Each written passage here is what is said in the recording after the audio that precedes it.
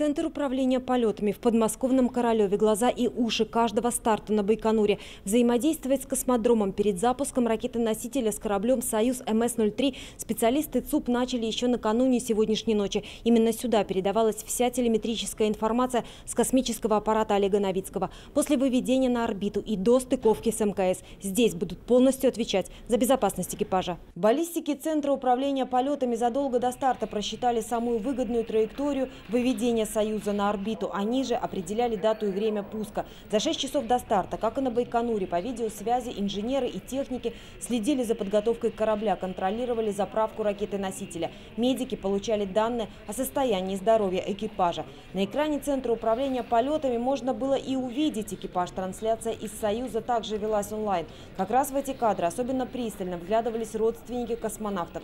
За Олега Новицкого здесь переживала жена Юлия, которая осталась дома с полугодовалой Маргаритой. Кстати, дочку ей удалось уложить спать только перед стартом. Знаете, она сегодня очень много капризничала почему-то у нас весь день. Она очень плохо спала. И здесь в ЦУПе она несколько раз просыпалась. Но вот прямо непосредственно перед стартом она уснула, дала нам посмотреть старт. Девять минут в напряжении выдохнуть группа поддержки космонавтов смогла только после того, как отделилась третья ступень ракеты-носителя и «Союз» пошел на первый орбитный виток.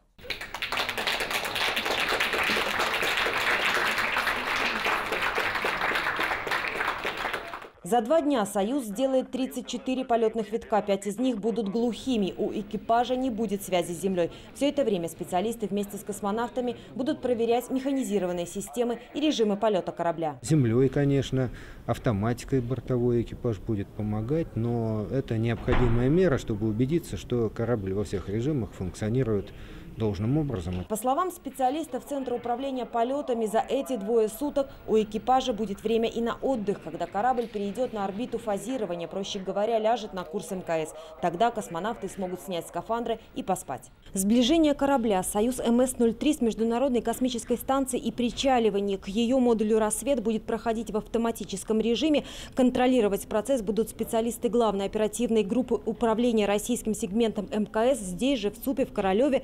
Стыковка корабля со станцией намечена на 20 ноября на час 02 ночи по московскому времени. Светлана Карольская, Светлана Чевдарь. Наши новости. Королев. Московская область.